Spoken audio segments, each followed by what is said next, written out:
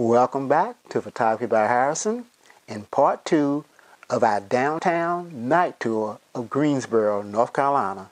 We will start out at B. Christopher's. Because of all the walking we will be doing, we will need the energy from a good meal. That was a nice meal. Now let's head to Center City Park. Look, a couple of bikes are waiting if you want to ride instead of walking off your meal around the park. It is a nice evening to be in the park. If you listen carefully, you can hear the song the birds are singing. The sound of the water flowing down the kettle or the ripples in the water can hypnotize you. The backlit fountain puts on a magical dance you can only see at night and with the help of your imagination. Visit the park one night and enjoy it for yourself. If you need another quick bite after your walk or ride around the park, guess what? Just a few steps away, Cafe Europa has a magical glow at night, inviting you to come in and get your second snack for the evening.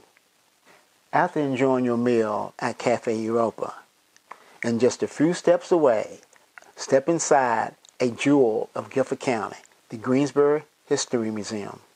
Did you know at night the posters on the Steven Tanger Center wall will come alive, and if you listen, they will tell you about the place. But before you get to the posters, look to your right. Is this a pink UFO? And where is it? No, it is not a UFO, just floating artwork in the LeBauer Park, right next door to the Tanger Center. What is it about the magic of the night where even a simple doorway can be the gateway to another world. At night, something as simple as a street address has an inviting glow and a staircase bathed in light, inviting you to come inside and take a relaxing walk. Governmental Plaza during the day can be cold and uninviting, but it takes on a warm, inviting glow at night.